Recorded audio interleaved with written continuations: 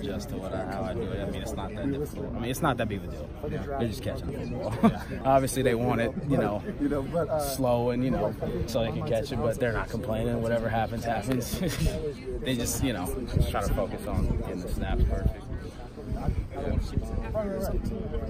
Hey Nick, um, being the veteran this year, um, what's one of the things you're on some of the younger guys that are that are here? Um, mostly, well, my I mean, my mission, um, just my last year here, is just to leave that unit in a better place than when I first got here.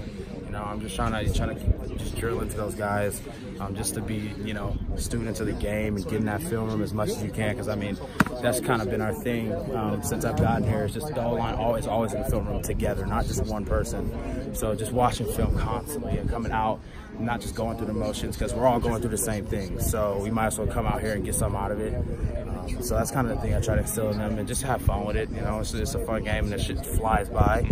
Um, so every day out there it's hot, but it's football. It's the best game in the world. So, you know, that's kind of what I, the approach I try to give to them. And it seemed last year that you kind of took it upon yourself to get down the field and, and be the enforcer. And if anybody messed with your teammates, you were right. You were the first one there to have their back.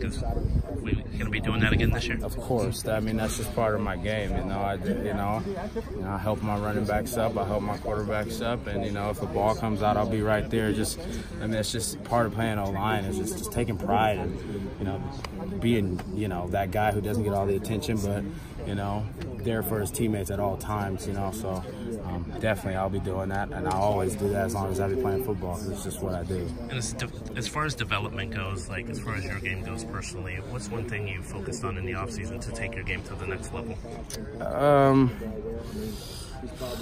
Uh, if there's one thing, I don't know. I, I kind of focused on the group um, this offseason. I, I want to I wanted to build this unit from the ones to the fours, the, I mean, to the ones to the threes.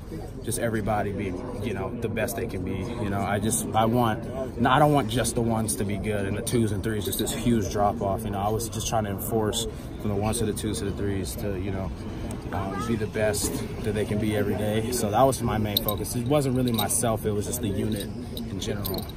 Thanks.